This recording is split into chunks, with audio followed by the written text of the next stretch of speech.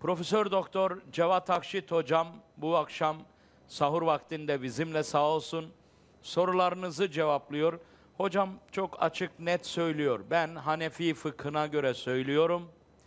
Verdiğim, konuştuğum şeyler tamamen Hanefi fıkıh alimlerinin iştihatlarıdır.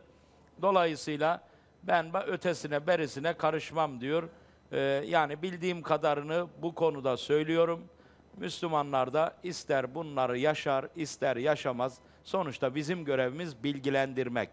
Değerli kardeşlerim, şimdi e, sahur vaktinde hocamıza oruçluyken hocam özel beden temizliği, tıraş, özel e, kişisel temizlik yapmak, tıraş olmak, temizlik yapmak, işte koltuk altlarını filan e, bunlar oruca zarar verir mi? Hayır.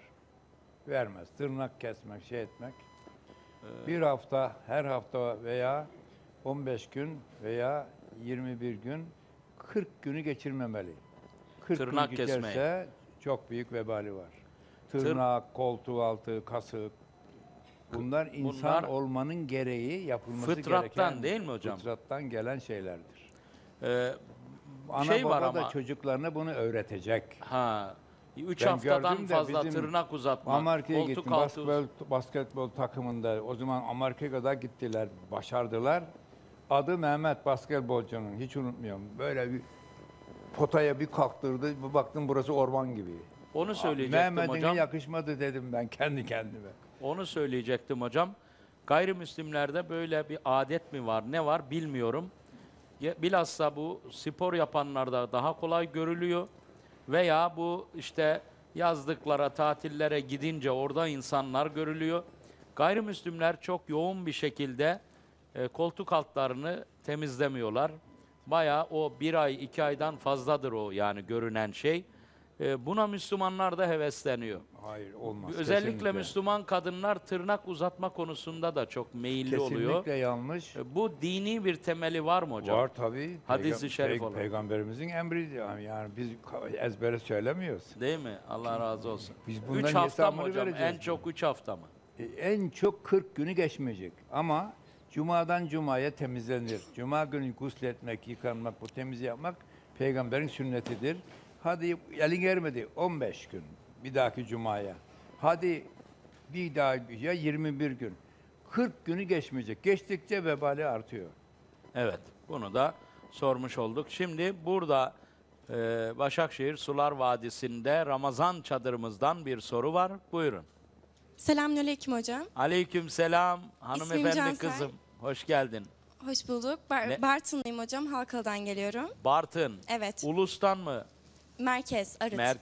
Oo çok güzel Bartın. Bartın'ımıza selam olsun. Aleyküm Biz selam. Bartın'ı çok seviyoruz. Ben her sene geliyorum birkaç defa. Mücahit Mekeç kardeşim var. Allah razı olsun. Bizi misafir ediyor. Çok güzel e, günlerimiz oldu. Sağ olsun. Siz de hoş gelmişsiniz. Teşekkürler hocam. Hoş bulduk. E, benim sorum şu şekilde. Kadınların orucu bölmemek için adet geciktirici kullanması dinen uygun mudur? Evet hocam. Evet. Blue çağına gelmiş Olabilir Veya- efendim. Bu haçta da çok oluyor. hacda Haçta- ve oruçta. Evet. Kabe'ye, mescide giremez, tavaf edemez. Doğru. Ettiriyorlar hocalar maalesef. Maalesef Kesinlikle hocam. yanlış. Namaz Kesinlikle kılınır yanlış. diyeni duydum hocam. Bu bu, La havle ve bu la Ramazan'da kuvvete illa.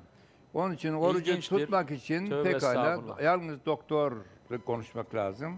Çünkü bunları bozmak onun sağlığına zararlıysa bir doktorun da- şeysini alarak eciktirilebilir dinen bir şeysi yok. bir mahsuru yok. yok. geciktirilebilir. Evet. Hocam bu şeyle ilgili kadınların özel günleriyle ilgili sadece diyor, deniliyor ya iddia edenler yani ben o görüşte değilim. Biz ehli sünnet itikadında ben Hanefiyim ama Evet. Müslümanlar şöyle bir potaya getirdiler. Ya bu mezhepler bütün işlerimizi karıştırdı. Mezhep diye bir şey yoktur. Efendim e, Kur'an-ı Kerim'de Allah çok açık söylemiş. İşte sadece mazeretli günlerinde cinsel yakınlaşmayı yasaklamış Allah. Onun dışında ibadetle ilgili hiçbir açık emir yok. Var Bunu sonradan uydurulmuş Kesin- deniyor. Kesinlikle efendim. Kur'an-ı Kerim'de anayasa gibidir la teşbih. Anayasada da Türkiye Cumhuriyeti'nin anayasasında da ceza hükümleri açıkça yok. Ticaret hükümleri yok. Evlenme, mal bölüşme yok. Hocam- Ama genel hükümler var. Bunlara göre anayasaya kanunlar çıkıyor. Kur'an-ı Kerim'de diyor ki peygambere tabi olun. Ona itaat edin. Ona bana eğer seviyorsanız peygamberi İn kuntum tuhibbun Ha, Allah şöyle.